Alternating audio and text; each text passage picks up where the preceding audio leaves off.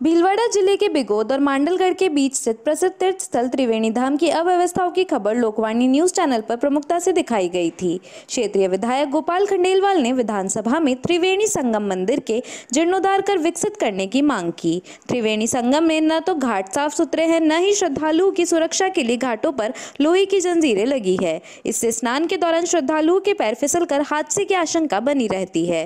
त्रिवेणी धाम मेवाड़ क्षेत्र का एक पवित्र दर्शनीय तीर्थ स्थल है। यहाँ यहाँ तीन नदियों का समावेश है। प्राचीन शिव मंदिर भी है। दूर दराज से श्रद्धालु स्नान करने आते हैं। पंडितों द्वारा काल सर्प योग की शांति, पितृ शांति, तर्पण, अभिषेक जैसे विभिन्न धार्मिक कार्यक्रम किए जाते हैं। देश आपने है। मैं, मेरे विधानसभा क्षेत्र में एक त्रिवेणी संगम है, जहाँ पर साक्षात तीन नदियों का संगम होता है। वो हमारे हमारा क्षेत्र का हरिद्वार है।